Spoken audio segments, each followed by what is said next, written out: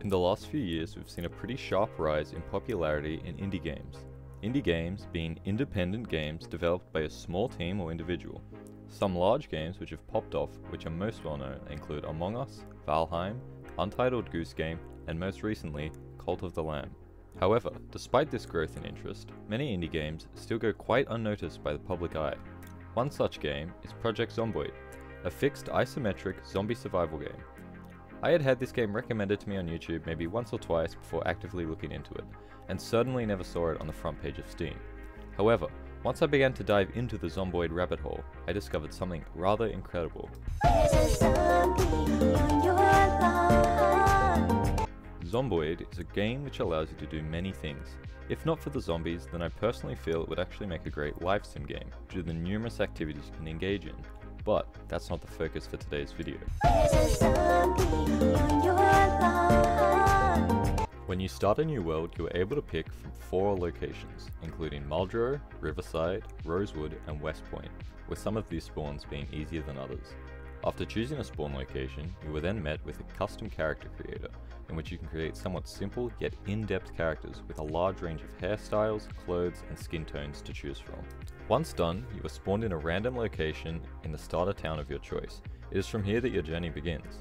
What makes starting a new world interesting, however, is the roguelike-esque nature of each world, and by this I mean that the random spawning of items in buildings is mostly different in each game, as in that I mean like each world that you create, which makes for an interesting start each time. For instance, you might spawn in a police station, which might house some guns or batons and some armor, which is essential if you want to avoid being bitten.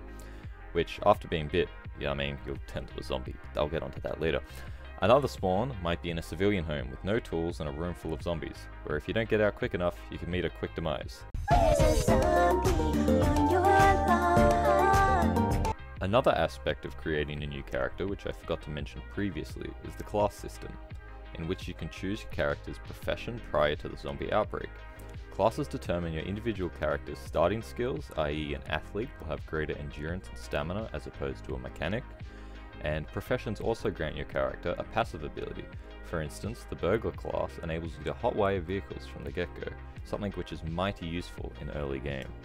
As well as classes, you are able to also pick perks. These are broken up into negative and positive perks.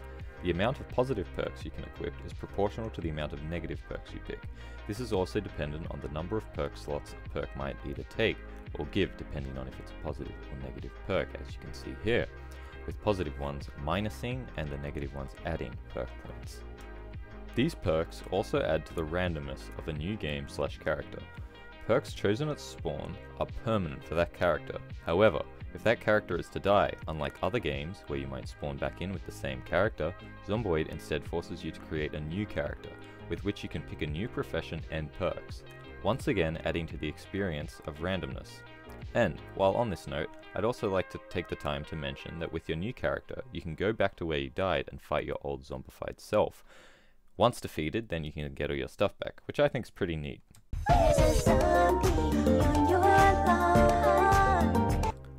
Finally, the last component of character customization is the skills mechanic. Skills determine what your character can and can't do.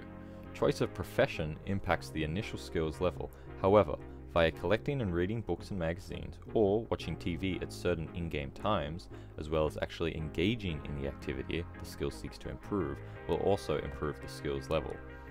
When you lose a character, however, you also lose the skills and need to start again.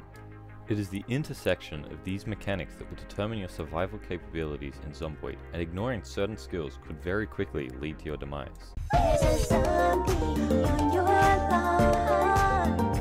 Another aspect of the game which can lead to both a greater chance of survival or worse is the multiplayer component.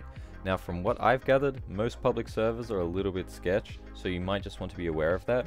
So for the most part, I've enjoyed the multiplayer with a friend, and I've had a blast so far, as you're able to better focus on specialization when you have someone else to complement your lacking skills. This is something that is greatly noticeable in the early game, when comparing the multiplayer experience with the single player experience. This isn't to say, however, that a capable person can't thrive on their own.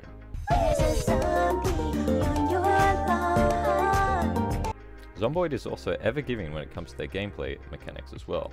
Combat, although simple, is very satisfying and involves either bonking zombies on the head until they either die or fall over in which you can crush their head. Or, if you're attacking at range, you can simply shoot them until they die. Or, there is a third way, but we don't talk about that very much. Oh no! Oh god!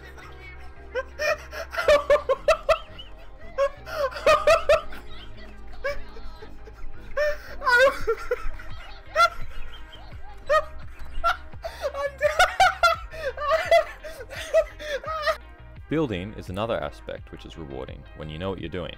You can build walls, storage boxes and such. There's also cooking which can improve carry weight and this is kind of in depth I guess as an extension as well. You've got the farming mechanic but I've only really scratched the surface with that so I won't comment too much on that. Driving is also pretty fun, cars handle very well and are pretty customizable and by that I mean like the interiors you can well I say interiors you can change like the mechanics of it and stuff like that but a lot of that stuff is sort of high level, sort of end game stuff, so that's not really an early game concern. Um, but yeah, so that's mostly everything. I'm pretty sure I could be missing something though, so if you know, do leave a comment. But yeah, that's pretty much everything I have to say on this hidden gem. So there's probably more I could go into, but you know, whatever.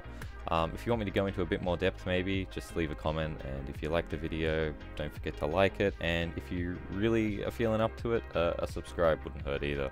Uh, we're slowly growing, so I uh, hope you enjoyed the video. Have a nice day.